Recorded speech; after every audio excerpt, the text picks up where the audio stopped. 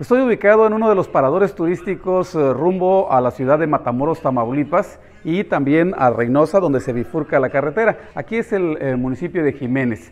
Quiero mostrarles algunas especies que en muchos ranchos cinegéticos todavía abundan aquí en nuestra entidad. Parece mentira que haya eh, este tipo de animales en los ranchos, algunos de ellos son conocidos como UMAS, son unidades de manejo ambiental que permiten la reproducción de las especies utilizadas con fines de turismo cinegético, es decir, la cacería, pero de manera deportiva. Le muestro aquí algunas especies como el borrego Hawaiian Black, es eh, eh, pues uno de los trofeos que gustan los cazadores cinegéticos.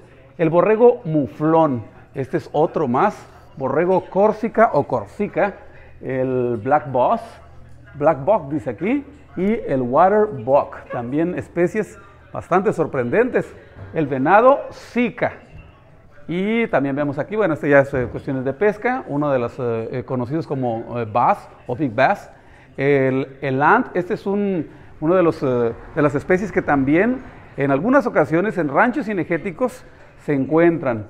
El new o will este es otro también muy conocido en los ranchos. Eh, este enorme, que ustedes seguramente identifican, el bisonte americano, muy conocido en los eh, grandes pastizales del norte de Estados Unidos y también en Canadá. El venado tejano es eh, el tradicional venado que buscan los cazadores. El ciervo rojo, esta es otra de las especies que también nos llama mucho la atención y que son comunes en esta región de los campos cinegéticos. Les digo, es muy sorprendente que en Tamaulipas nosotros tengamos este tipo de animales, sin embargo, sí existen y precisamente por eso nuestra entidad se ubica como el número uno en cuestión de turismo cinegético. Son los venados tradicionales que Nuevo Laredo y la frontera chica también son muy comunes. Este es otro de los eh, animales que tienen unas eh, ornamentas pues que son un trofeo, se llaman elk y estos sí los hemos visto en más de una ocasión porque se adaptan, por cierto, a estas eh, tierras. los alimentos que eh, existen aquí en estos terrenos son eh, pues propicios para que ellos se desarrollen y se reproduzcan.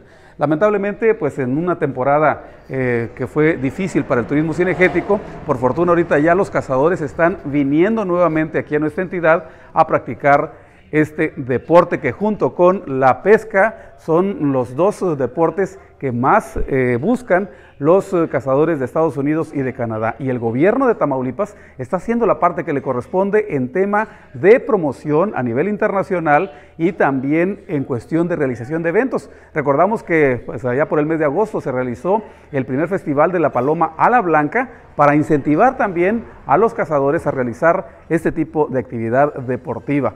Y bueno, pues eh, se hacen una serie de estrategias para poder pues, eh, volver a traer eh, esos cazadores que dejan una considerable derrama económica a nuestro estado. Tamaulipas sigue siendo el número uno en turismo cinegético a nivel nacional.